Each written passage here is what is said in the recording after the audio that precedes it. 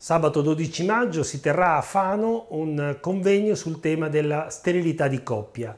È il tentativo di eh, promuovere una lettura un po' diversa rispetto a quello che accade abitualmente della problematica della sterilità di coppia, vedrà la presenza di alcuni professionisti della salute, in particolare ginecologi, andrologi e il sottoscritto in qualità di medico legale e bioeticista,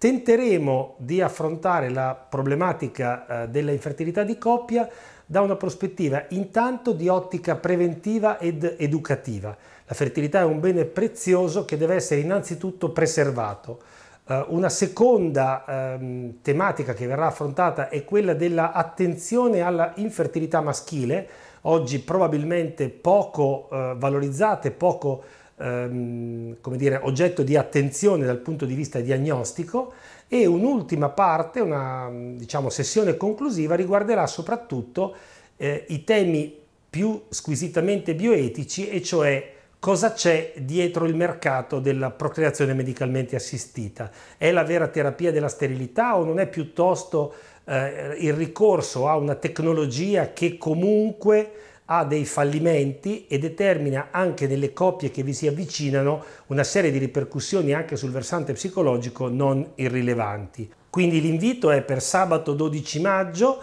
dalle ore 8.30 alle ore 14 presso il centro congressi del centro pastorale ex seminario di Fano. È rivolto il convegno a tutta la cittadinanza, in particolare agli operatori sanitari, medici e non, eh, perché possano prendersi cura della salute, in questo caso riproduttiva e della fertilità, eh, delle persone che hanno questo problema.